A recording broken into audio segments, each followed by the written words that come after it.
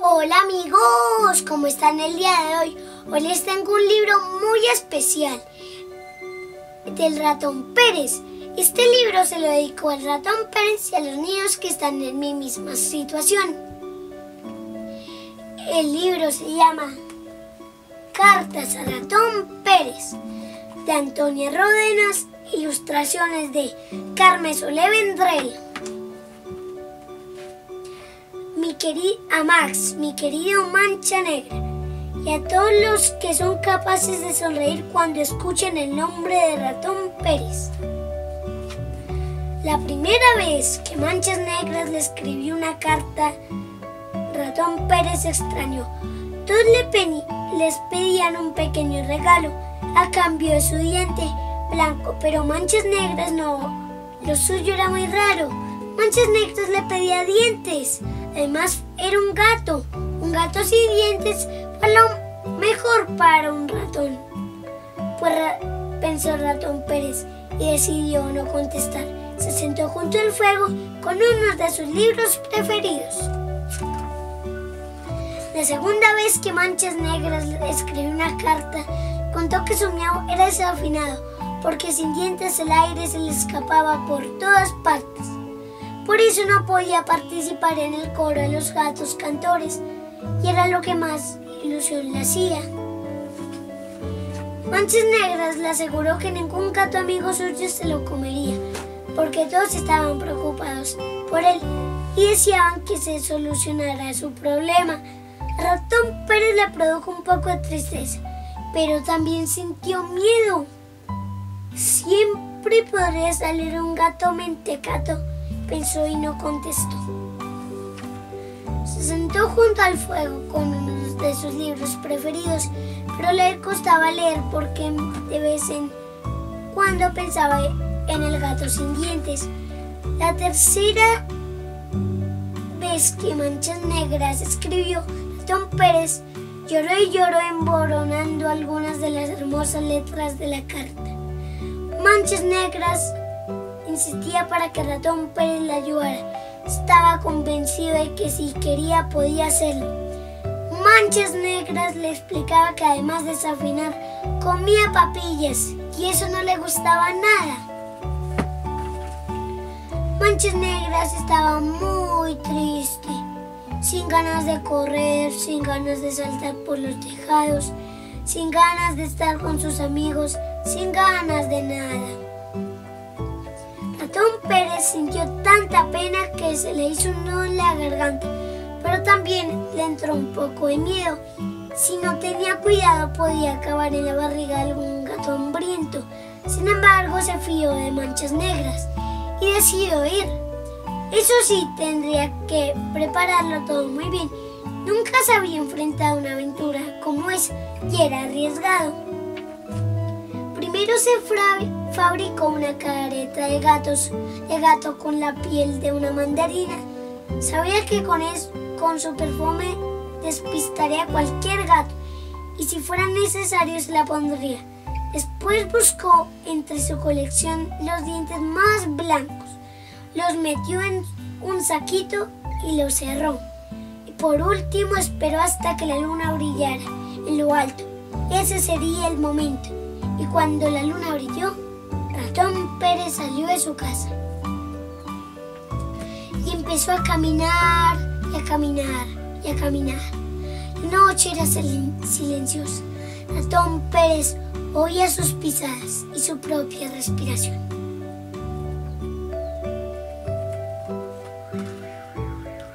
Las piedras del camino brillaban bajo la luz de la luna y se acordó en aquel de aquel niño que para no perderse en los bosques llenaba sus bolsillos con pequeñas piedras que, que dejaba caer poco a poco. Iba ensimismado recordando aquella historia cuando de pronto salió, le salió paso una sigilosa serpiente, dispuesta a tragárselo. La serpiente avanzó con él y lo rozó con su piel fría. Ratón Pérez sintió un escalofrío. Su pequeño cuerpo se estremeció. Estaba tan nervioso que la bolsa de los dientes se movió y De ella salió un sonido suave como, como de campanillas. La serpiente se quedó quieta, hipnotizada por aquel sonido. Y ratón Pérez aprovechó ese instante para marcharse. Caminaba deprisa, muy deprisa. Quería llegar cuanto antes, pero desapareció la luna. Todo estaba tan oscuro que Ratón Pérez encontraba como... ¿Cómo podría llegar al tejado donde vivían los gatos si no veía nada? Necesitaba que apareciera de nuevo la luna para continuar. Necesitaba la luna. Ratón Pérez permaneció inmóvil durante un rato. Se oía un murmullo de agua y se asustó. Con aquella oscuridad no debía continuar. Se podía caer al agua. Mucho, mucho no sabía nadar. Además empezaba a estar cansado. El camino era más largo de lo que él había imaginado. De repente oyó a una rana que más de cruel parecía llorar. Se acercó a ella y efectivamente lloraba. De sus grandes ojos salían chorros de lágrimas. Ratón Pérez las sentía caer en su cabeza como lluvia salada. Rana le contó que era una princesa, pero nadie le creía. Estaba esperando que un día apareciera su príncipe. Ratón Pérez levantó la cabeza para mirar sus grandes ojos. La rana dio un respingo y empezó a reír. Y la rana lloraba y la rana reía. Lloraba y reía. Lloraba y reía. Eran los bigotes de ratón Pérez que le rozaban la piel y le hacían cosquillas. A pesar del llanto, la risa le sentó bien. En agradecimiento, la rana decidió acompañar a Ratón Pérez mientras la oscuridad. Ella conocía bien ese camino y fueron charlando, contándose historias de ranas intrépidas y ratones valientes. La luna volvió a brillar. La rana se despidió y se marchó saltando. A Ratón Pérez se le quedó un beso en la punta del hocico beso que pensaba darle a la rana para ver si se convertía en una princesa. ¿Sería posible? Era ya muy tarde cuando descubrió muy cerca de él un animal peligroso. Sabía que se trataba de un lince, pues Ratón Pérez había fijado en sus orejas terminadas en pinceles. También sabía que el lince tiene mucha vista y eso le asustó. ¿No habría visto? Pensó rápidamente. Se puso la careta de gato que olía mandarina. sacudió la, la, bolsita de los dientes que sonaba como campanillas. El lince giraba la cabeza de un lado a otro. Olía a ratón, pero oía un animal muy extraño. Como no sabía a quién se enfrentaba, decidió marcharse. ratón Pérez le latía el corazón muy rápido. Cuando vio que lince se alejaba, se sintió fuerte como un super ratón. Ahora estaba convencido de que llegaría a su meta. Finalmente llegó.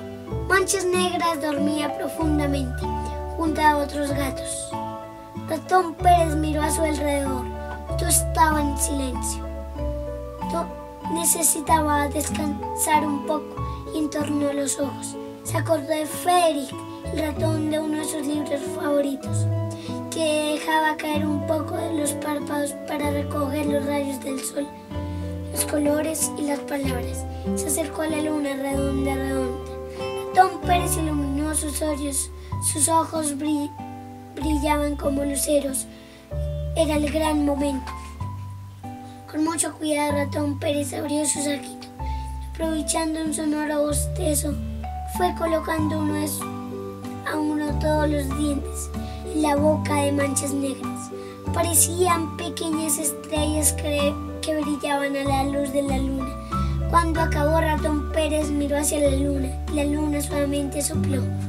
A la mañana siguiente, cuando Manchas Negras despertó, estiró las patas delanteras, luego las traseras, se lavó la cara y por último lanzó un hermoso mollido.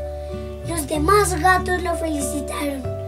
Manchas Negras se miró sorprendido en un charco.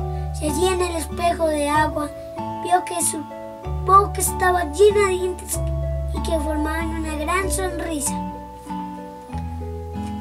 Manchas Negras había pasado toda la mañana saltando por los tejados, maullando sin parar. Estaba tan contento que se había olvidado de comer. Por la tarde decidió escribir una carta de agradecimiento a Ratón Pérez, una carta especial. Escribió, Querido Ratón Pérez, hoy es un día grande para mí.